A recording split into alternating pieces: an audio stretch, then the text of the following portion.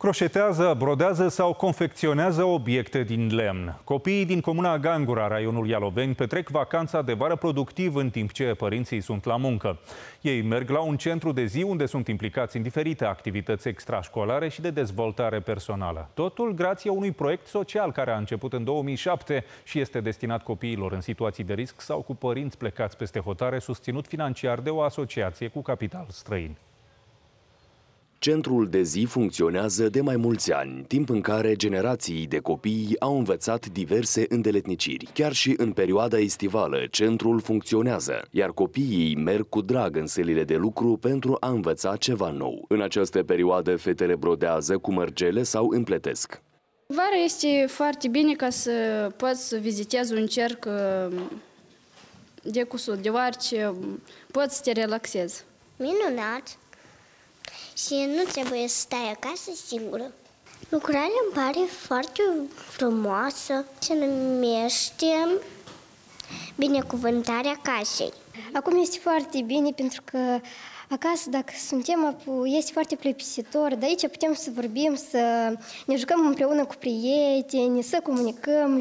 Iar băieții sunt implicați în confecționarea diverselor obiecte din lemn, în condițiile în care în localitate nu există alte ocupații pentru ei.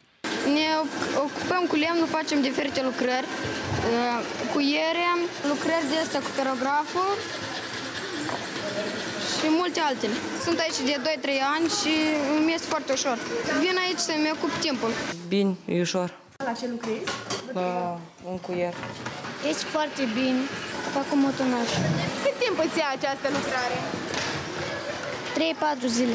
Lucrările copiilor au fost apreciate la diferite expoziții, unde au luat locuri de frunte. În prezent, centrul este frecventat de 100 de copii, originari atât din localitatea Gangura cât și Misovca. Totodată, micuții sunt asigurați și cu un prânz cald.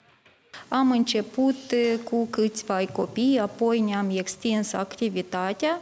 Acești copii vin la centru direct după ore, își petrec timpul liber aici până la ora 4, respectiv iau prânzul fierbinte, pregătesc temele pentru acasă și deja se ocupă cu fiecare cu lucru manual după interes. Fetele brodează, croșetează, împletesc, băieții se ocupă, mânuiesc carta lemnului.